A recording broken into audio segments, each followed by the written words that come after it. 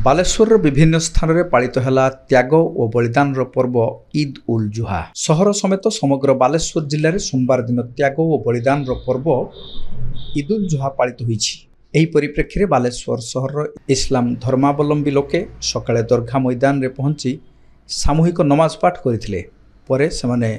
ପୂର୍ବପୁରୁଷଙ୍କ ସମାଧିସ୍ଥଳରେ ମଧ୍ୟ ପୂଜାପାଠ କରିଥିଲେ ନିଜ ଭିତରେ ଥିବା ଭେଦାଭେଦକୁ ଭୁଲି ପରସ୍ପରକୁ ଆଲିଙ୍ଗନ କରି ଇଦ୍ ଉଲ୍ ଜୁହାର ଶୁଭେଚ୍ଛା ଜଣାଇଥିଲେ ईद उल जुहा के मौके पर ये हो रहा है सबसे पहले हम लोग सुबह की नमाज़ पढ़ने के बाद में गौसल वसल करके नया कपड़ा पहन के जिसके पास नया कपड़ा न हो अपना साफ़ सुथरा कपड़ा पहन के ईदगाह या मस्जिद में नमाज़ अदा करे दो रकात ईद उल जुहा उसके बाद में ईद उल जुहा की नमाज़ अदा करने के बाद में अपने दोस्त अहबाब को मुबारकबाद पेश करें और अपने जद्दियाला जो गुजर चुके सबों के कब्रस्तान में जाकर फातिया पढ़े और जिसके वालिदैन ज़िंदा है उनके जाके कदम बसू करे और उसके बाद एक अहम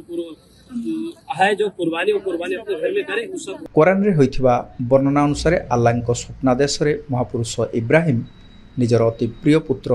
ଇସ୍ମାଇଲ୍ଙ୍କୁ ବଳି ଦେବାକୁ ରାଜି ହୋଇସାରିଥିଲେ ସେହି କ୍ରମରେ ସେ ଏକ ଖୋଲା ପଡ଼ିଆରେ ତାଙ୍କୁ ବଳି ଦେବା ସମୟରେ ଚମତ୍କାର ଘଟଣା ଘଟିଥିଲା ପୁତ୍ର ଇସ୍ମାଇଲ୍ଙ୍କ ପରିବର୍ତ୍ତେ ସେଠାରେ ଏକ ପଶୁକୁ ବଧ କରାଯାଇଥିବା ଇବ୍ରାହିମ୍ ଦେଖିବାକୁ ପାଇଥିଲେ ସ୍ୱୟଂ ଆଲ୍ଲାଙ୍କ ନିର୍ଦ୍ଦେଶରେ କ୍ଷଣିକରେ ସବୁକିଛି ପରିବର୍ତ୍ତନ ହୋଇଯାଇଥିଲା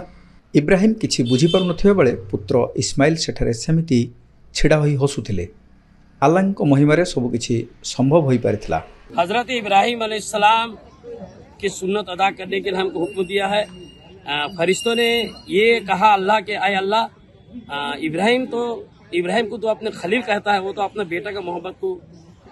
बहुत ज्यादा कर लिए है इसलिए अब तू कैसा अ, फिर उसको खलील कहता है तो अल्लाह ताला ने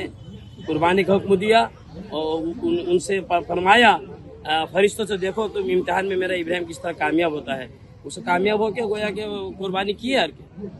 उनके लट, बेटा को लिटा के हज़रत जबरील इस्लाम को दिया अल्लाह ताला जिब्रील ए जबरील जन्नत से एक मेंढा लेके आओ।